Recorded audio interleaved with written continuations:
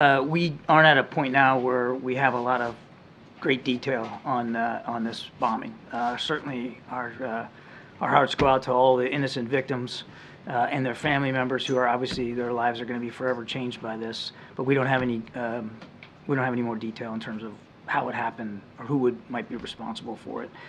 We have no indication at this time at all that Israel was involved in any way whatsoever. No indication, but just to be clear, you don't think, did they support or assist in, in some other way? Uh, I, I would, I'm not going to speak for another nation. I would just tell you that we have no indication that Israel was in any way involved in this. And given that this was the Soleimani anniversary, uh, did you have any intelligence that something was being planned for this day?